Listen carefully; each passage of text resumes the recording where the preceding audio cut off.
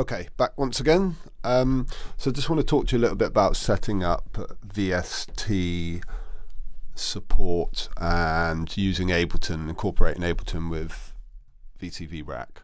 So um, on the website, there's a bit of info which is about setting up your bridge in DAW. If you're doing this at home on your laptop or in your own time, you'll need to install basically a VST plugin uh, compatible thing called the VCV Bridge, and you install that just like you would a normal audio unit or VST, and then it allows you to use VCV and Ableton Live. So going into your plugins, once you've installed it, um, you can just drag the VCV bridge across and drop it onto a channel. I've got a channel with a little bit of uh, music set up there, just a MIDI part, and you can use this as an effect as well if you wanted to bring um, VCV in as just an effect unit and not a sound source. So this is just standard MIDI channel. Um, the first points of call that you need to do is just make sure that your keyboard and all that normal sort of stuff is all set up so you're getting MIDI.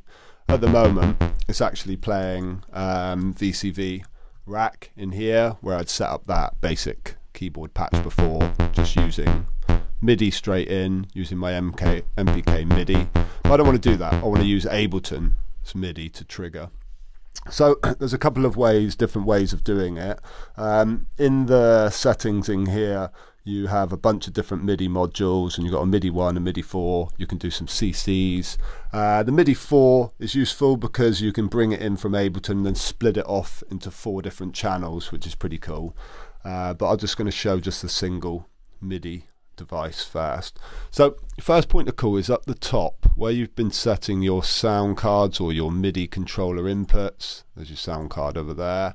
You now um, use bridge instead of the core MIDI or core audio that you normally use on your machines. So if you go and select bridge at the top and if you do that also for audio then it's kind of making that connection uh, under the hood so to speak. So now it's not going to take my keyboard input. So I'm punching that away, nothing's happening. Um, and if I go back to Ableton Live, and I've loaded that plugin onto the channel, onto the MIDI channel. My channel is record activated. So now in theory, if I come back into VCV, I should be able to route this. If you expand the plugin, you'll see that there's a whole different bunch of ports that you can send various CC across. So by clicking on the device part and clicking port 1, you can now see that Ableton Live is the MIDI input source, but then it's being routed over into um, VCV. Cool. So now I just want to route the audio back so that I can play or record or incorporate some stuff in Ableton. So by setting the port 1 on the audio output bridge and going back to Ableton, there you go. Now we have audio. And what you'll want to do is you'll want to route your audio um, into another channel and then record your audio if you wanted to dump that stuff in there and resample, etc. Simple as that. Lovely.